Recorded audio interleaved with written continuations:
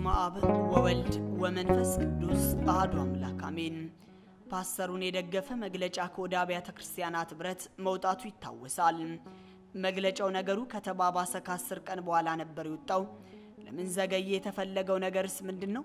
በመግለጫቸው ሲያወሩ የነበሩት እንደ መንግስት ባለስልጣን በመሆን ነበርና ከመንግስት ጎን ነን ሲሉም ተደምጠዋል። ወዴት እየሄድን ነው? አብራችሁን ቆዩ። ሰላም ይኑረን፣ ተስፋን አንጣ። ውድ የጊዜቲው መርሃ ግብር ተከታታዮች እንደምን ሰነበታችሁ? የእግዚአብሔር ሰላም ከሁላችን ጋር ይሁን። ሰናይ ቆይታ። የዘገየው መግለጫና ይዘቱ በአባ ጌዲዮን ብርሃን የቀረበ የአብያተ ክርስቲያናት ኅብረት በወቅታዊ ጉዳይ ላይ መግለጫ ሰጥቷል። መግለጫ የተሰጠው ጉዳዩ ካለፈ ከአስር ቀናት በኋላ ነበር። መግለጫውን ደጋግሜ ለማዳመጥ ጥረት አድርጌያለሁ ይላሉ አባታችን። መግለጫው ብዙ ታሪካዊ ዳራዎችን በማስታወስ ያነሳ ነው። የሆነ ሆኖ ይህን ያህል ከዘገየ በኋላ መስጠት ለምን አስፈለገ ለሚለው የመግለጫው ይዘት ፍንጭ አመላካሽ ነው። የመግለጫው ይዘት ለኢትዮጵያ ኦርቶዶክስ ተዋሕዶ ቤተ ክርስቲያን ላነሳቸው አግባብነት ላለው ጥያቄ መልስ ለመስጠት የታለመ ሳይሆን በዋናነት ከራሳቸው ተከታዮች ለሚነሱ ጥያቄዎችና ግፊት መልስ ለመስጠትም ያለመ ይመስላል። እጅግ በጣም ጥንቃቄ ለማድረግ በተሞከረበት አገም ጠቀም በተሞላው አነጋገር ዋናነት የተነሱ የሀሳብ ይዘት እናንተ ብትሰደቡም እኛም ስንሰደብ ኖረናል፣ አሁንም እየተሰደብን ነው የሚል ይዘት ያለው ጭምር ነው። በተጨማሪም ከተቋሙ ጋር በተያዘም ዋና ዋና ቦታዎች የተያዙት በማን ነው በሚልና በአንድ በኩል ብቻ ማስጮ ተገቢ አይደለም የሚል ነው። በሁለተኝነት ከመንግስት ጋርም በተያዘ መልኩ እኛ ከመንግስት ጋር የተለየ ቀረቤታ የለንም፣ ስለዚህ በእኛ ምክንያት የመንግስት ስም ሊነሳ አይቻልም የሚል ነው። በሶስተኝነት በመግለጫው ቀን ያልተገኘ ነው ስላልተመቸን ነው ካለ በኋላ በሶስተኛ ጊዜ ባከሉት የጻዲቁ አብዶ ገለጻ ቀስ ብለን እንወያይበት ነው ያልነው የሚል ነው። በመጨረሻም በሚዲያ በማጫጫ የሚፈታ ጉዳይ ስላልሆነ ቀስ ብለን ጊዜ ወስደን እንወያይበት የሚል አቋም አለን የሚል ነው የኔ አስተያየት ይላሉ አባታችን። መግለጫውን በሶስት ዋና ዋና መደቦች እከፍለዋለሁ። ግልጽ የሆኑና እንደ ሀገርም ሆነ እንደ ኢትዮጵያዊነት ለአብሮነት የሚጠቅሙ በሳል መልእክት አለው። ከግልጸኝነት አንጻር የተድበሰበሰና አገም ጠቀም አይነት ሆኖ ለማን እንደሆነ እንኳን ግልጽ ያልሆኑ እሳቤዎች በግልጽ የተቀመጡና የእስካሁኑ ይበቃቸዋል አይነት የማስጠንቀቂያና ነገሮችን ከመንግስት ጋር በማያያዝ የማላተምና ይዘት ያላቸው መልእክቶች ሆነውም አግኝቻቸዋለሁ። እንደ ሀሳብ ለነገ አብሮነት የሚጠቅሙትን በሳል እሳቤዎች አደንቃለሁ፣ አበረታታለሁ። በሁለተኝነት ከራሳቸው አንግል ነገሮችን ለማየት የሞከሩበት መንገድ የሚነቀፍ አይሆንም። ምክንያቱም የቆሙለትን ዓላማ የማሳካት ግዴታ እንዳለባቸውም አልዘነጋም። እኔም የምደግመው በዚሁ መንገድ ስለሆነ ነው። ግልጸኝነት ጎደላቸው ወደምለው ሀሳብ ስንገባ በመጀመሪያ መልእክቱ ለማን የሚለውን በማያሻማ መልኩ መግለጽ ነበረበት።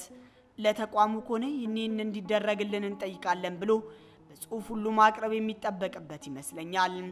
የተደራሲውን ማንነት በግልጽ ያቀረበ ካልሆነ በጅምላና በፍረጃ የተሞላ አይነት ይዘት ያለው የሚመስል መግለጫ መሆን አልነበረበትም። መልእክቱ ለማን ነው? ለራሳቸው ተከታዮች ወይንስ ለኢትዮጵያ ኦርቶዶክስ ተዋሕዶ አማኞች ወይንስ ለተቋሙ ወይንስ አንዳንድ በሚዲያ እየሰደቡን ነው ላሏቸው አካላት?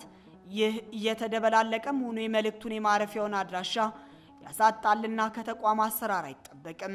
ሁለተኛው የኢትዮጵያ ኦርቶዶክስ ተዋሕዶ ቤተ ክርስቲያን በመግለጫዋም ሆነ በክሷ በጉዳዩ መንግስት አለበት አላለችም።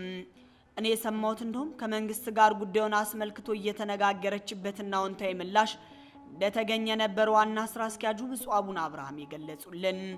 ከተነሳው ሀሳብ አንጻርም እንደ መንግስት ህዝብን ለውከት የሚዳርጉ አካላትን ስርዓት ማስያዝ ይጠበቅበታል የሚል ነው። ይህ ደግሞ ትክክል ነው። መንግስትን አስመልክቶ ባቀረቡት ሀሳብ ላይ ሁለት ነገሮች ትክክል አይደሉም። አንደኛ መንግስትን የሚነካ ነገር ከቤተ ክርስቲያኒቱ ከተሰማ መልስ መስጠት ያለበት ራሱ ባለቤቱ መንግስት ነው። ይህ በእንዲህ ሆኖ እያለ መንግስትን ወክሎ መልስ መስጠት ምንን ለማሳየት ነው? አልፎ ተርፎም ከመንግስት ጎን ነን ማለትን ምን አመጣው? ሁለተኛው መንግስትን በሚመለከት ተቋማ ያላለችውን እንዳለች አስመስሎ በመግለጫ ውስጥ ማካተት ምን አይነት አንድምታ ይኖረዋል? ማስተላለፍ የተፈለገውስ መልእክት ምን ይሆን? በመቀጠልም ብዙ ነገር ሲደርስባችሁ ሲሰደቡ ችለው መኖራቸውን በተደጋጋሚ ከገለጹ በኋላ የቻሉበትን ዋና ዋና ምክንያት ሲገልጹ እንደ ብዙ የነሱ ተከታይ የተወሰደው ከኦርቶዶክስ እምነት መሆኑን ገልጸዋል። ይህ እውነት ቢሆንም አጽንኦት መስጠቱ ለምን አስፈለገ የተባለ በዚህ ምክንያት ማጫጫውን ስለማይፈልጉት ነው።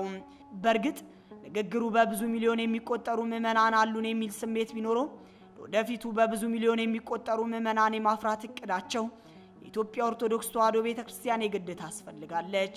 ይህ ጩኸት ደግሞ ቤተ ክርስቲያኒቱ ለአባላቷ ወይንም ለተከታይ ምዕመናኖቿ ትኩረት ሰጥታ እንክብካቤና ጥበቃ እንድታደርግ የሚያስገድድ የማንቂያ ደውል ይሆናል። ከሆነ ደግሞ ወደፊት ሊወስዱ ያሰቡትን የብዙ ሚሊዮን እቅድ እንዳይሳካ በር ይዘጋል። ስለዚህም በምንም አይነት ሁኔታ ማጫጫዋን አይፈልጉትም ማለት ነው። ሌላው ሀሳብ በኦርቶዶክስ በኩል የሚሳደቡ እንዳለ አንስተዋል።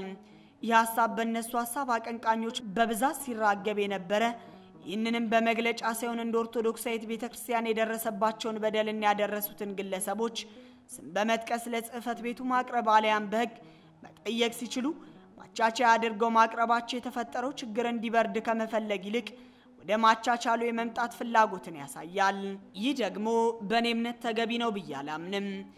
ከዚሁ ጋር ተያይዞ ለተፈጠረው ችግር የሃይማኖት ተቋማት ጉባኤ ያልተገኘበትን በቂ ምክንያት መልስ መስጠት ያለበት ከአስር ቀናት ቆይታ በኋላ ሳይሆን ወዲያውኑ በአካል ወይንም በደብዳቤ ሀሳቡን ገልጾ ያልተገኘበትን አሳማኝ ምክንያቱን አቅርቦ ቀጠሮ አስይዞ መወየትና መፍታት ሲገባው ተኝቶ ከርሞ አትርሱኝ ማለቱ በፍላጎት የሆነ ሳይሆን ሌላ አካል ለምን ዝም ትላለ ብሎ የቀሰቀሰው ይመስላል።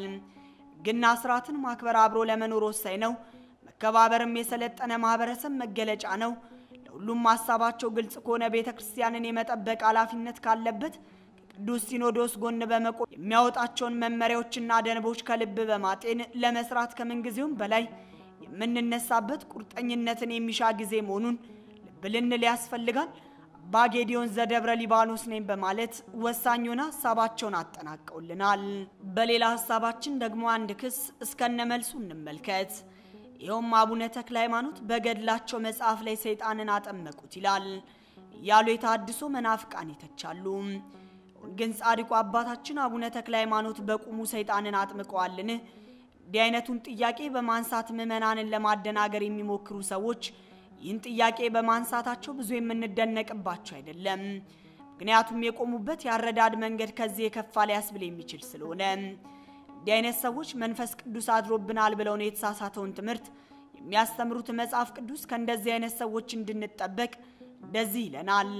በኃጢአታቸው የሚለያዩ ልቡናቸው በወደደው የሚያስቱ መንፈስ ቅዱስም ያላደረባቸው እነዚህ ናቸው ወንድሞች ሆይ እናንተ ግን በተቀደሰች ሃይማኖት ራሳችሁን እነጹ፣ በመንፈስ ቅዱስም ጸልዩ፣ በእግዚአብሔር ፍቅር ራሳችሁን ጠብቁ።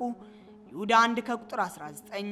እንግዲህ ምዕመናንን ለመለየት እንዲነሳሱ የሚያደርጋቸው የኃጢአታቸው ብዛት መሆኑን ማወቅ ተገቢ ነው። ልቡናቸው በወደደው የስህተት ትርጉም ራሳቸውን በመምራታቸው ገደል ውስጥ ገብተው በእውነት መንገድ የሚጓዙትን ሰዎች ወደዚያ ገደል ለመክተትም የሚያስቱ መሆናቸው ተብራርቷል። ያም ብቻ ሲሆን መንፈስ ቅዱስም ያላደረባቸው ናቸው በማለት የክህደታቸው ምክንያት ከእግዚአብሔር መለየታቸው እንደሆነም ተገልጿል። በእነርሱ የተሳሳተ የመገንዘብ መንገድ ልንጓዝ ደግሞ አይገባም። አንድ እውነተኛ ጥያቄ አቅራቢ ሰው አስቀድሞ የሚተቻቸውን ሰዎች ከመተቸቱ በፊት በጉዳዩ ላይ ያላቸውን ትምህርት መጠየቅና ማወቅ ይኖርበታል። ኦርቶዶክሳዊት ተዋሕዶ ቤተ ክርስቲያን ስለ መላእክት የምታስተምረው ጠቅላላ ትምህርት ምንድን ነው የሚለውን አያውቁትም ለማለት ይከብዳል። ብዙ መጽሐፍቶች ይህንን በዝርዝር የሚያስረዱ ናቸውና አጋንንት ምንም ክፉ ቢሆኑ መልአክነታቸው አልቀረም። ቢሆንም ግን እርኩሳን ይባላሉ እንጂ ቅዱሳን ተብለው በፍጹም አይጠሩም። ርቱ ሃይማኖት መላእክት ሥጋ የሌላቸው ረቂቃን ናቸው። ሞትም በእነርሱ ላይ የለም። እንደ ሰው መጋባትም የለባቸውም፣ አይዋለዱም።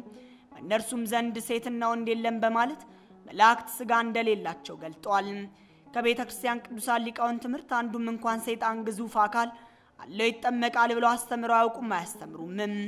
ይህን የቅድስት ቤተ ክርስቲያንን ትምህርት ለመረዳት ቢያንስ ፍጥረታትን በሚመለከት የጻፈችውን መጽሐፍት ብቻ ማየት ከበቂ በላይ ነው። እየገሉን ደረቅ ንባብ ይዘው ሰይጣንን እንዴት አጠመቁ ይባላል ካሉን እኛም ጥያቄ አለን። በወንጌል ኢየሱስ ክርስቶስን የሰላምን ላመጣ የመጣው አይምሰላችሁ ሰይፍን እንጂ ይላል። የማቴዎስ ወንጌል ምዕራፍ 10 ከቁጥር 25። እንግዲያውስ ኢየሱስ ክርስቶስ ሰላማዊ አይደለም ማለት ነውን? ይመልሱልን። ደረቅ ንባብ ወስዶ የአቡነ ተክለ ሃይማኖትን ገደል የሚተቹ ከሆነ የእኛንም ጥያቄ ሊመልሱልን ይገባል። ቅዱስ ጳውሎስ በሥጋዬ በክርስቶስ መከራ የጎደለውን እፈጽማለሁ ይላል። ቆላሲስ ምዕራፍ 1 ከቁጥር 24። እንግዲያውስ የክርስቶስ መከራ ጎዶሎ ነው ማለት ነውን? ቅዱስ ጳውሎስስ ክርስቶስ ያጎደለውን ጨርሶታል ማለት ነውን? ኢየሱስ በቂ ከሆነ እንዴት የጎደለውን ሊባል ቻለ? ወደ መልሱ ስንመለስ የተጠመቀው ጋኔን ነው የሚለውን የገላቱ ጸሐፊዎችም እንዳልተቀበሉት የሚያሳዩ ፍንጮች አሉ። በብሪቲሽ ሙዚየም በቁጥር 723 የተመዘገበውና ንብረትነቱን የመቅደላ ቅዱስ መድኃኔ ዓለም የነበረው ገድለ ተክለ ሃይማኖት ይህንን ሀሳብ አይቀበለውም። በገድሉ ጋኔን ተብሎ የተጠቀሰው ሰው በክፉ ስራው ምክንያት ተጠራበት እንጂ ራሱ ጋኔን አለመሆኑን በቅዱሳት መጻሕፍት ምስክርነትም ያሳያል። በቀድሞ መጻሕፍት ስጋ ለበስ የሆኑ አጋንንት ታሪክ የታወቀ ነው። እነዚህ ስጋ ለበስ አጋንንት የአጋንንትን ስራ የሚሰሩ ቢሆኑም የሚዳሰስ ስጋ ግን አላቸው። ለምሳሌ ድርሳነ ሚካኤል ዘጥር ላይ እና ምርቶ ሃይማኖት የተባለው ድንቅ መጽሐፍ ላይ እንደተገለጠው እነዚህ በሽታዎችን ሁሉ የሚያመጡ ስጋ ለበስ አጋንንት እንደ ሰው ሁሉ ይታመማሉ፣ ይራባሉ፣ ይሞታሉ። አንዳንድ ጊዜ በበረሃ ውስጥ፣ አንዳንድ ጊዜም በውሃ ውስጥ ይኖራሉ። እነዚህ ስጋ ለበስ ሰይጣናት ማለትም ክፉን ሰዎች መክሮና አስተምሮ ከነበሩበት ውድቀት ማውጣት ይቻላል። አጋንንት ስጋ ኖሯቸው አይደለም። እነ አባ ጊዮርጊስ ዘጋስጫ ርቶ ሃይማኖት፣ እነ ቅዱስ ዮሐንስ አፈወርቅ፣ እነ ቅዱስ ሄሬኔዎስ ሌሎችም ቅዱሳን አባቶቻችን አጋንንት ያደረባቸውን ክፎችን መናፍቃን ማህደር አጋንንት መሆናቸውን አስረድተዋልና በመልካም ስራ እያደግን በቅድስና እየበቃን ስንሄድ እግዚአብሔርን ወደ መምሰል እንሻገራለን። እግዚአብሔር በጸጋ አድሮብን ይኖራልና ከዚህ በተቃራኒው በክፋትና በክህደት እያደጉና እየበቁ ሲሄዱ ዲያብሎስን ወደ መምሰል ይሻገራሉ። ለቡሰ ስጋ አጋንንት የሚል የውርደት ስም ከአባታቸውም ይሰጣቸዋል። አምላካችን ራሱ በስብከቱ ፈሪሳውያንን የዲያብሎስ ልጆች ብሏቸዋል። ይህን የሚላቸው ከእውነት ይልቅ ሐሰትን ስለወደዱና የዲያብሎስንም ሥራ ለመስራት ቆርጠው ስለተነሱም ጭምር ነው። እነዚህ ሰዎች ልቡሰ ሥጋ አጋንንት ተብለው ይጠራሉ ማለት ነው። ፈሪሳውያንን ከፈሪሳይነት ስራቸው በቃለ እግዚአብሔር ሰይፍነት አክሞ ወደ እውነተኛ እምነት አምጥቶ ማጥመቅ ሰይጣንን እንደ ማጥመቅ ጭምር ይቆጠራል። ፈሪሳውያን ወደ ሰይጣን እጅግ በመቅረባቸው ለእግዚአብሔር ኢየሱስ ክርስቶስንም አጥብቀው ስለተቃወሙት የዲያብሎስ ልጆች ተብለዋል። ከሆኑ ዘንዳ በአካል ተዛምደዋል ማለት ነው። በመሆኑም ለባሴ ሥጋ አጋንንት እያልን ልንጠራቸው እንችላለን። እነዚህን ማዳን ማለት ከሰይጣናዊነታቸው መመለስ ማለት ነው። ጌታችን ራሱ ይሁዳን በተመለከተ ሲናገር ከእናንተ አንዱ ግን ሰይጣን ነው ብሏቸዋል። ይህ እንግዲህ በግልጽ ይሁዳን ለመገሰጽ የተናገረው ነው። በገድለ ተክለ ሃይማኖት በልደታ አበው ላይ እንዲህ ይላል። አቡነ ተክለ ሃይማኖት በእነዚህ አውራጆች ሲመላለስ አንድ ቀን በውሃ ዳር አረፈ አለ። ጋኔንም በውሃ ወጣና ደቀ መዝሙሩን ያዘው አሳመመውም። እርሱም ጋኔን መሆኑን አወቀ። በረዱ ላይም በመስቀል ምልክት አማተበበት። ጋኔኑም ፈጥኖ ወጣ ሸሸ። አቡነ ተክለ ሃይማኖቱን በእጁ ያዘው፣ ስራዩንም አወጣበት። ያን ጊዜ ለሁሉ ታየ። እርሱም ማን ነው ስም አለው። ጋኔኑም ባህር አልቀም አለው። አቡነ ተክለ ሃይማኖትም ከኔ ጋር ትኖራለህን አለው። እርሱም ገዘረውና ወደ ታላቁ ቤተ ክርስቲያን ምስጢረ ጥምቀት አገባው። ስሙንም ክርስቶስ አሬው ወይንም ክርስቶስ መረጠው ማለት ነው አለው። ረድም አደረገው፣ ወደ በዓቱም አስገባው። እርሷም አሰቦ ናት። እርሱም እግዚአብሔር የሚወድና ወንድሞችንም ሁሉ የሚያስደስት ሆነ። በጥንታውያን ሰዎች ዘንድ በአጋንንት አሰራር ተጠምዶ የሚኖሩ ጣዖት አምላኪ ሰዎችን ባደሩባቸው አጋንንት ስም መጥራት የተለመደ ነው። ውድ የጊዜቲው ቤተሰቦች ሰው በውስጡ ባለው ነገር ይጠራልና ልክ ጌታችን ጴጥሮስን አንተ ሰይጣን ከኋላ ሂድ እንዳለው ማለት ነው። እንዲህ አይነት ታሪኮች በብዙ ጥንታውያን መጽሐፍት አሉ ማለትን ወደድን። ይቆየን። ወስብሐት ለእግዚአብሔር ወለወላዲቱ ድንግል ወለመስቀሉ ክቡር። ምንጭ ማኅበራዊ ድረገጽ